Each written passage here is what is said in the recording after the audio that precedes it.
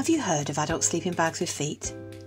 Sleeping bags with feet from Slumbersac give you more freedom to move while sleeping. The sleeves are padded a little thinner and have practical press studs so that you can quickly remove them if necessary, which is perfect for when winter is over.